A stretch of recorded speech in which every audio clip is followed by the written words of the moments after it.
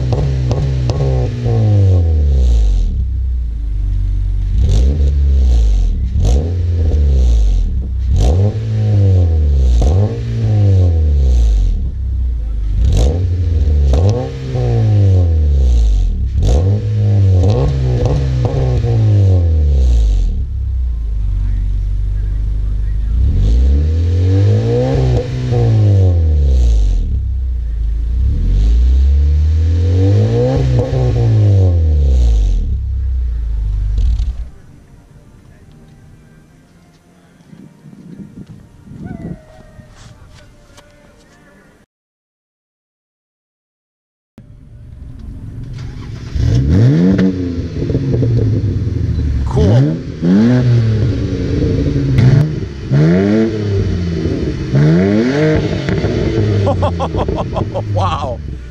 Sounds good. Good looks. And this is a college kid's vehicle.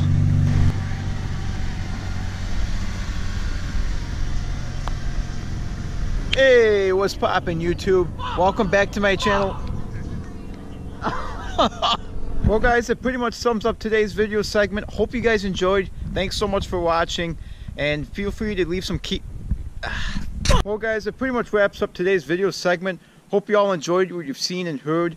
Please like, comment, and subscribe to my channel, as well as feel free to add some feedback on whether you like the Yonaka setup or you didn't like it. And thanks again for watching. I look forward to seeing you guys and talking to you all in the next video. Peace out.